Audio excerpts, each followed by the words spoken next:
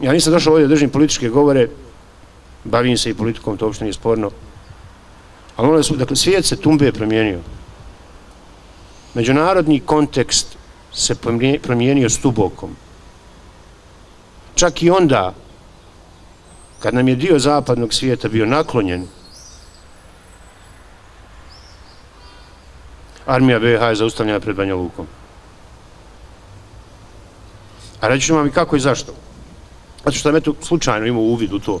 Ja sam kao malo mlađi novinar radio intervju sa, i to je javan intervju, dakle to je objavljeno, to se može naći, to je, odete u arhiv BiH koji pohranjuje sve primjerke svih novina i svega što izlazi ovdje i naćete intervju koji sam ja radio sa a, Peterom Galbraithom, koji je bio tadašnji ambasador Sjedinjenih američkih država u, a, u, u, u Zagrebu. E sad vidite, Galbraith je učinio jednu veliku stvar za Bosnu. Naime, riječ genocid se nakon Srebrenice prvi put spominje u američkim dokumentima, u pismima, u telegrafima i depešama koje je on slao iz Zagreba. Za službenike UN-a, za neke druge ambasade, za neke druge zemlje, vjerovatno bi trebalo proći još mnogo vremena prije nego što se taj zločin koji je počinjen u Srebrenici, odnosno u istočnoj Bosni, nazove njegovim pravim imenom.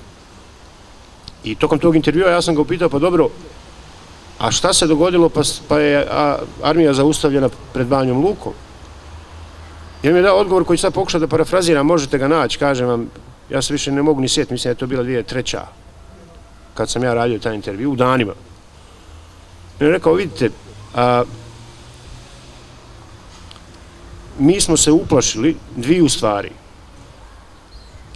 Prva stvar je da bi kao rezultat još 300.000 izbjeglica, jer kao što znate neki 200-300.000 ljudi je a, iz Hrvatske izbjeglo u Srbiju nakon oluje, da bi kao rezultat još 200-300.000 priliva 200-300.000 izbjeglica moglo doći do destabilizacije Miloševićevog režima,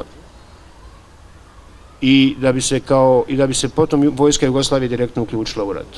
Ja sam bio šokiran. Sam bio apsolutno šokiran. Pa je pojenta je bila u tome da Milošević padne. Nije bila da ostane. A vojska Jugoslavije, kao što svi ovdje znamo, ratovala svih te tri godine bez ikakvog ostatka. Ratovala oko Sarajeva, ratovala u Krajini, ratovala u Istočnoj Bosni, sa svime što je imala. A, tako da, kako da vam kažem, dakle, ja, ja se ponovo vratit na ono što sam rekao na početku. Međunarodno pravo je za slabe. Jakima ne treba međunarodno pravo.